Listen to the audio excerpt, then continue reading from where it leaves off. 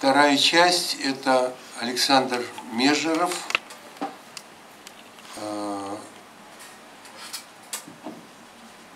Иосиф Бродский, Владимир Высоцкий и э, дальше десертная для меня часть – это Дмитрий Александрович Приков. Вы не против? Я нет. Александр Межеров. Э, для лично очень, очень важное имя по многим причинам того, как, как отличается его поэзия от других. А, не буду рассказывать, наверное, кто-то, кто увлекается поэзией, знает о трагической судьбе финальной части жизни Александра Петровича, э, когда он был вынужден эмигрировать и жил в Нью-Йорке, потом в Портленде.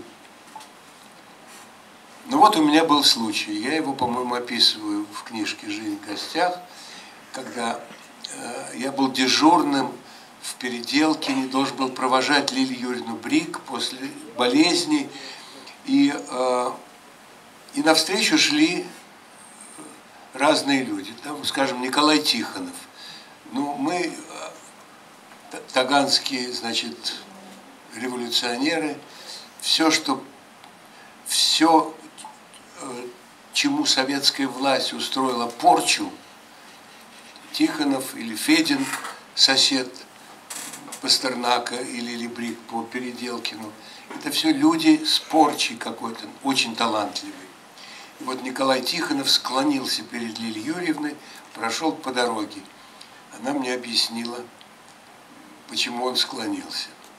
А потом шел Александр Петрович Межеров. И дальше мы уже э, на даче за самоваром э, я услышал от Лили Юрьевны, Веня, а я, мне кажется, вы симпатизируете очень вот э, Александру Межерову, который проходил. Я говорю, да, очень. Да, ну, такой четверошный поэт. Она была очень, очень сурова в аттестациях и театра, и поэзии. Ну, это здесь было понятно потому что э, этот уровень и Лили Брик, и ее сосед по Переделкину Виктор Борис Шкловский, это, это все люди из другой жизни, из другого мира, и по, по-другому у них устроено отношение к слову. И если я уже назвал в первой части Гамлет, переводчик Гамлета Борис Леонидович Пастернак – Гамлета, который поставил Любимов, и который мы играли. А Лилия Юрьевна рассказывала, что Борис Леонидович Пастернак, э, она была первая, с кем он с, с кем он познакомил свой вот только что свежий перевод Гамлета. И на следующий день он позвонил. Лиля, ты прочитала? Да, Боря, я прочитала. И она мне цитирует, что она говорит. Какую гадость она говорит Борису Пастернаку. Да, Боря. Ну, как, как, как и надо было ожидать, это замечательный перевод на немецкий язык. Немецкий язык и у Лили Юрьевны, и у Бориса Леонидовича был первый после русского языка. Дальше английский, естественно, у Пастернака, и у нее французский. И, и я читаю за чаепитием, просто строчку произношу. Парк культуры и отдыха имени совершенно не помню кого. Ой, а что это за стихотворение? Я говорю, это Межеров. Правда? Так что все зависит от строчки. Вот эта строчка попала. Парк культуры и отдыха имени совершенно не помню кого. в молодом неуверенном инии. Деревянные стенды кино,